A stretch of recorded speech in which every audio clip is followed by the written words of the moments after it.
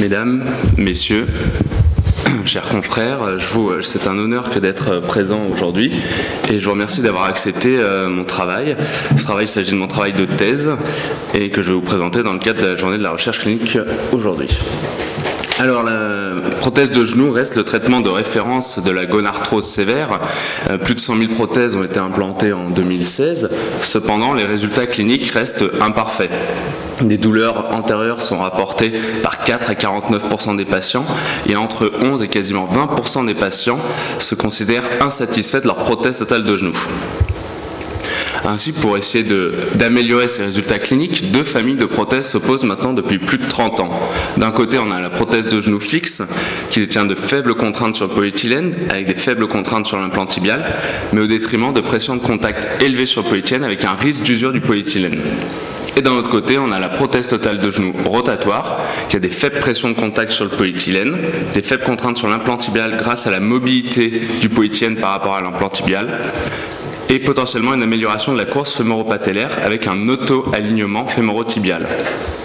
Elle a aussi des euh, inconvénients, une zone d'usure du coup entre le polyéthylène et l'implant tibial grâce à la mobilité, et aussi un risque de luxation de l'ordre de 1% qu'on retrouve dans différentes études.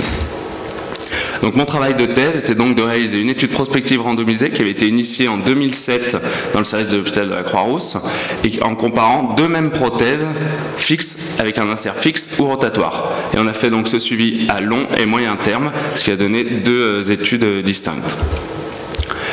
Le premier article, c'est donc euh, l'analyse à, un recul moyen de 10 ans, donc à long terme euh, de cette étude comparative. On a donc réalisé une étude prospective comparative randomisée monocentrique, qui, donc avec des inclusions entre mars 2007 et mai 2009. On avait 79 patients dans le groupe rotatoire contre 81 dans le groupe fixe. On a comparé la même prothèse de genou HLS Noetos avec un resurfaçage rotulien systématique. Et la seule différence entre les deux groupes était l'insert fixe ou rotatoire. Et ceci était connu au moment de la chirurgie, donc le plus tard possible, une fois que les coupes étaient réalisées afin d'éviter les biais. Dans nos critères d'exclusion, on avait euh, les patients de plus de 90 ans et les arthroses fémorotibiales latérales. On n'avait que des arthroses fémorotibiales internes. Pour l'évaluation clinique, on avait le score IKS avec ses sous-scores, la flexion maximale passive que l'on mesurait grâce à un goniomètre en post-opératoire, les taux de complications, la survie et le suivi était au minimum de 8 ans. L'évaluation radiologique comprenait les paramètres classiques, euh, mais surtout la flexion maximale active que l'on mesurait sur les radiographies et la présence de liseré radiologique. Dans notre population, il est important de, regarder que, nos groupes étaient comparables et ils l'étaient en préopératoire, que ce soit pour l'âge, le sexe, l'IMC, les déformations initiales, donc la valeur de l'HK, ou euh, les scores IKS initiaux.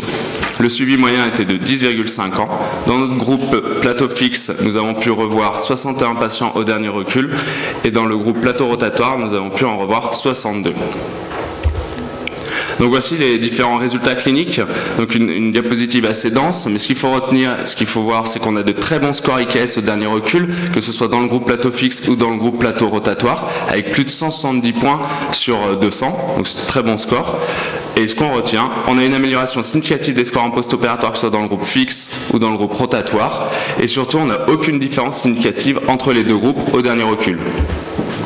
Concernant nos complications, à noter qu'on a un sepsis dans le groupe rotatoire euh, et surtout aucune différence significative toujours entre les deux groupes au dernier recul. Concernant nos résultats radiologiques, pareil, une diapositive avec l'ensemble des résultats. ce qu'il faut retenir, c'est qu'on n'a aucune différence significative entre les deux groupes au dernier recul. On a une meilleure flexion maximale active à la limite de la significativité en, facteur, en faveur des prothèses de genoux fixes. Et surtout, pour tous les patients qui ont présenté des liserés radiologiques, il est noté qu'il n'y a eu aucune reprise chirurgicale pour ces différents patients. Concernant notre analyse de la survie, on a fait trois analyses différentes. La première analyse comprenait toute reprise chirurgicale et on n'a retrouvé aucune différence significative entre les deux groupes. On a ensuite fait une analyse où on avait euh, une reprise chirurgicale avec un changement d'implant. De même, on n'a retrouvé aucune différence entre les deux groupes. Et lorsqu'on fait la survie globale, en, en, prenant en compte les perdus de vue et les patients décédés dans chaque groupe, on retrouve toujours pas de différence significative entre les deux groupes. Lorsqu'on regarde dans la littérature les différentes études, on a retrouvé 5 études comparatives avec un recul moyen minimum de 10 ans. Il y a une seule étude qui a retrouvé une différence en faveur du groupe rotatoire par rapport aux résultats cliniques. Cependant, dans cette étude, les prothèses de genoux étaient avec conservation du ligament croisé postérieur, ce qui n'est pas le cas dans notre étude où on avait un sacrifice du ligament croisé postérieur. On était sur une prothèse de genou postéro-stabilisée. Les résultats ne sont donc pas comparables avec ceux de cette étude retrouvée dans la littérature nos résultats en tout cas. Et on n'a retrouvé aussi aucune différence significative sur les résultats radiologiques dans ces différentes études de la littérature avec un recul minimum de 10 ans. Concernant la survie, donc dans notre étude et dans les études à long terme dont je viens vous parler, on n'a pas retrouvé de différence significative en termes de survie. Néanmoins, dans les analyses de registres, deux études ont retrouvé euh, des euh, facteurs, des euh, risques augmentés de décèlement aseptique pour les plateaux rotatoires par rapport aux plateaux fixes. Les limites de notre étude, il y avait en effet un biais euh, de confusion. La chirurgie était réalisée par différents chirurgiens seniors du service. De plus, on avait une légère perte de puissance de l'étude. Euh, avec les 32 décès et les 5 perdus de vue, on avait un chiffre un tout petit peu inférieur aux 128 patients qu'on devait revoir normalement pour avoir une puissance de 80%. Le biais de sélection, donc on avait exclu toutes les arthroses fémoro-patellaires latérales, et le suivi radiologique n'a pas pu être effectué pour l'ensemble des patients, parce que s'agissant d'une population âgée, à 10 ans, les patients ne pouvaient pas tous revenir en consultation, ou alors ils habitaient un petit peu loin. Donc ce premier euh, article les a permis de montrer une excellente survie à long terme dans les deux groupes, aucune différence significative en termes de survie ou de complications pour les deux groupes, et aucune différence significative en termes de résultats cliniques et radiologiques, à un recul moyen de 10,5 ans. Donc on avait réalisé euh, une deuxième étude qu'on avait réalisée euh, auparavant et euh, cette fois on s'était focalisé surtout sur le positionnement rotulien entre ces deux groupes pour voir si on avait une différence et potentiellement moins de douleurs antérieures. La méthodologie reste la même donc je ne reviens pas dessus. Concernant l'évaluation clinique, on avait le score IKS et le suivi était cette fois au minimum de 5 ans. On avait réalisé cette étude un petit peu en, amont. Euh, concernant l'évaluation radiologique, les deux paramètres qui nous intéressent le plus sont le tilt rotulien. On a aussi réalisé une analyse en sous-groupe inférieur ou supérieur à 5 degrés et la translation rotulienne, pareil, avec une analyse en sous-groupe inférieur ou supérieur à 5 mm. Nos groupes, il s'agit de la même cohorte, donc les groupes étaient comparables en préopératoire, et le suivi était en moyenne de 7,4 ans.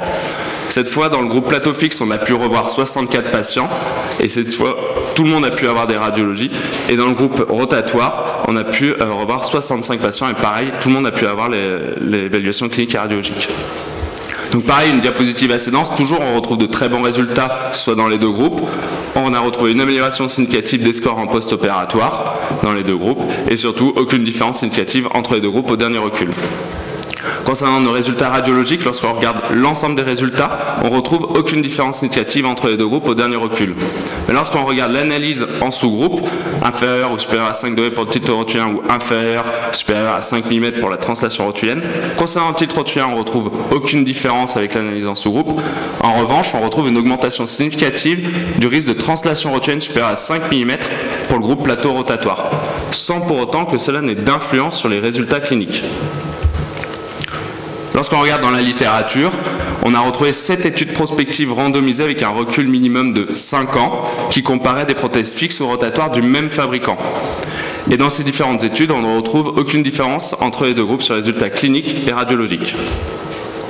Dans notre euh, analyse, dans notre étude, nous avons fait l'analyse en sous-groupe, on a retrouvé une augmentation de risque de translation supérieure à 5 mm pour le groupe plateau rotatoire, et nous faisons l'hypothèse que par la mobilité du polytienne, cela entraînerait une variabilité du positionnement de l'implant tibial par rapport à l'implant fémoral, ce qui pourrait impacter de façon négative la course rotulienne en augmentant l'angle Q. Ce deuxième article nous a donc montré aucune différence significative en termes de douleur post-opératoire et surtout aucune différence significative en termes de positionnement patellaire lorsqu'on regarde l'ensemble de la cohorte, avec un recul moyen de 7,4 ans. Ainsi, ces deux études ont permis de montrer une excellente survie à long terme pour les deux groupes, que ce soit fixe ou rotatoire, aucune différence significative en termes de survie entre les deux groupes, aucune différence significative en termes de résultats cliniques et aucune différence significative en termes de positionnement patellaire. Il n'existe donc pas de supériorité d'un implant par rapport à un autre à 10 ans de recul et le choix donc entre un insert fixe ou rotatoire doit donc se faire en fonction des habitudes du chirurgien et pas en fonction des, résultats euh, qu'on retrouve dans la littérature. Merci pour votre attention. Merci infiniment euh, de cette étude très très claire. On va ouvrir la discussion. Merci d'avoir respecté votre temps de parole. Et je crois que Pascal avait une question. Alors, c'est un chirurgien hépatobiliaire qui va poser une question. Tout d'abord, merci pour la présentation qui était euh, euh, claire, euh, une très bonne méthodologie et objective, hein, parce que voilà. Mais je vais vous poser une question de profane, parce que comme l'a dit coup d'âme, le foie c'est quand même assez loin du genou, etc. J'avais comparé donc deux, deux, types de prothèses avec, grosso modo, pour le profane que je suis, des résultats comparables dans les deux groupes.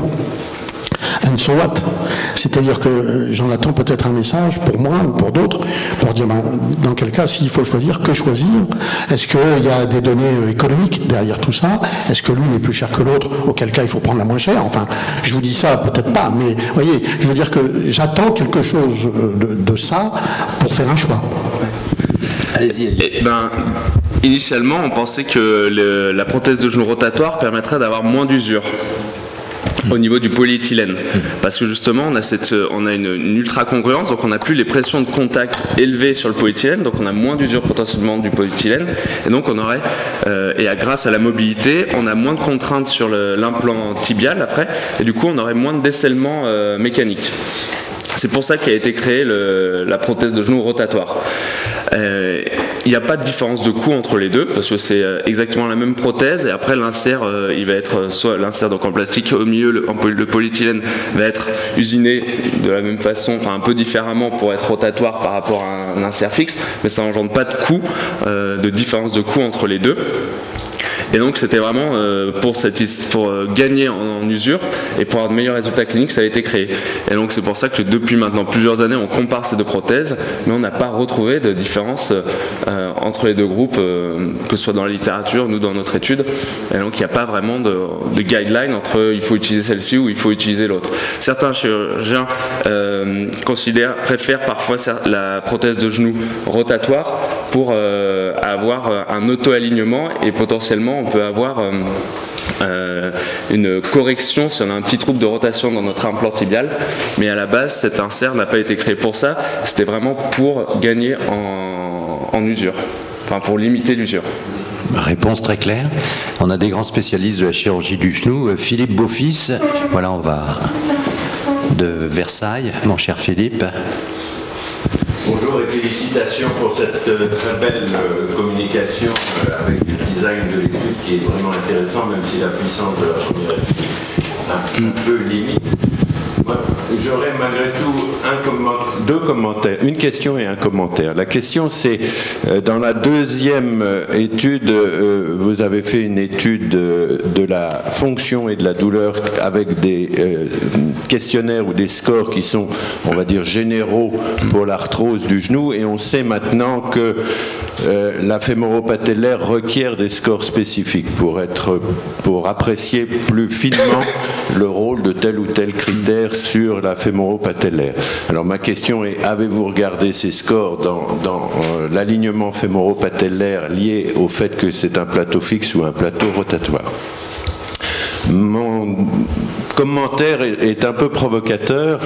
Euh, et, pour répondre à votre question, euh, cette introduction du plateau rotatoire est, on va dire, une fausse bonne idée. Euh, il a été introduit, comme vous l'avez dit, pour euh, entre guillemets, faciliter l'alignement rotatoire euh, des implants, considérant que les chirurgiens n'étaient pas capables de, de, positionner correctement leurs prothèses. Euh, il s'avère que c'est probablement faux, et vos résultats euh, le montrent, d'abord parce que les chirurgiens orthopédistes sont peut-être bons, j'en sais rien, euh, et, surtout, comme vous le soulignez, et ça a été souligné par d'autres, ça crée des effets adverses. Cette translation rotulienne, elle, a déjà, elle avait déjà été soulignée il y, a, un certain temps par Pagano, et c'est pas neutre, c'est pas neutre sur l'avenir lointain de ces fémoropatellaires. Et là, vous avez un résultat à 5 ans sur la fémoropatellaire, c'est peut-être un peu juste pour apprécier exactement ce que deviendra cette fémoropatellaire, dont on sait que c'est un des points faibles de la prothèse totale de genou. Alors, est-ce que vous pouvez euh, répondre à la première question donc de Philippe? Merci Philippe. Alors pour la première question, en fait, euh, malheureusement, il s'agissait donc euh, c'était un protocole qui a été établi en 2007, et donc initialement, on n'avait que le score IKS et on n'avait pas les scores QJALA notamment pour évaluer la fémoropatellaire, et du coup, on n'a pas, comme c'était le suivi à long terme et à moyen terme de ce protocole-là, on n'a pas pu intégrer d'autres scores en plus. C'est pour ça qu'on est resté sur les premiers scores, mais en effet, je suis d'accord que pour avoir une meilleure analyse plus fine de la fémoropatellaire, il a fallu inclure d'autres scores, notamment le score QJALA ou autre pour, pour cette évaluation. Merci euh, Elliot. Il y avait une question, Monsieur le Président. Dominique. Je suis content de voir que votre travail a abouti, puisque l'année dernière, il n'était pas encore tout à fait prêt. Euh, Deuxièmement, moi, ça me gêne toujours quand en 2019, avec tout ce qu'on ressent de la part du gouvernement, on vous dit on laisse le chirurgien choisir. Mhm. Euh, c'est plus à la mode de laisser les chirurgiens choisir entre deux techniques. Et donc, je pense que votre réflexion était assez bonne. Peut-être que si on poursuit un peu cette étude, on s'apercevra qu'il y a vraiment une seule prothèse de genou qui soit convenable et que tous les chirurgiens doivent apprendre à la faire. Qu'est-ce que vous pensez d'une solution comme celle-là? Je pense que surtout que dans nos euh, arsenals, on en a euh, beaucoup, beaucoup, beaucoup maintenant des prothèses et euh, on s'éparpille peut-être un peu trop et on devrait peut-être se concentrer plus parce qu'on a des médial pivot shift avec d'autres designs, on a toujours un cerf fixe rotatoire, on a les stabilisés. Après, on a d'autres catégories qui nous permettent de pallier lorsqu'on a une instabilité ligamentaire, donc ça, faut les conserver parce qu'on en a besoin de ces prothèses. Mais c'est vrai que sur des prothèses de première intention, on a un un arsenal assez important. Et euh, je, pense que pour euh, certains chirurgiens qui s'installent, on peut avoir parfois un peu du mal à savoir lequel je vais choisir. Et, euh, et peut-être que ça c'est de la part aussi de nos laboratoires qui développent chacun leur prothèse pour avoir leur euh, Mon souvenir de responsable de bloc opératoire, c'est de voir ces énormes étagères pour les orthopédistes, euh, où il n'y avait jamais la bonne vis, jamais le bon tournevis, jamais la bonne perceuse, et que donc euh, tout ce qui va vers une certaine homogénéisation des procédures probablement est bonne pour le patient en définitive. Merci, mais enfin la conclusion là de cette étude est quand même relativement claire. Je partage l'analyse conceptuelle du docteur Philippe Beaufils. On a dit effectivement que euh, il y a encore quelques, une dizaine d'années euh, que les prothèses rotatoires allaient charger, changer le paradigme complètement. Enfin, c'est ce qu'on nous a vendu entre, entre, guillemets. Or, il s'avère que finalement, la réponse est non. Et eh ben, c'est très clair et c'est très précis et ça nous permet de nous reposer effectivement un certain nombre de questions. Plus de... Oui, Philippe? Si je peux me permettre juste euh, une réflexion d'ordre général. Je te donne le micro parce que c'est enregistré, donc voilà une réflexion d'ordre général et, qui concerne l'aspect euh, recherche euh, clinique et publication. Il est remarquable de publier des papiers ne montrant pas de différence. Ils ne sont pas suffisamment publiés, ils sont même souvent mis de côté et, c'est remarquable de le faire. Oui. Là encore, euh, il faut ne pas avoir peur euh, de ces erreurs ou de ces fautes, comme le disait un grand homme politique. Et effectivement, en matière de publication, on sait que quand on propose des papiers sur des mauvais résultats ou d'absence de résultats, euh, ces papiers sont euh, rejetés. dans la littérature, environ, ça ne représente que 15 à 20 je crois, des papiers qui sont autorisés, enfin qui sont publiés dans les revues à haut impact factor. je terminerai par une question. Là, vous avez fait une étude prospective. Mm. Je pense que vous avez recueilli l'accord euh, euh, d'un comité de protection des personnes. il y avait un CPP initialement. Alors il faut toujours le dire, monsieur, maintenant, au début de la publication, vous mettez CCP, etc. vous savez que je suis professeur de médecine égale et droit de la santé aussi, donc, mais c'était parfait et je vous remercie. Merci. Merci.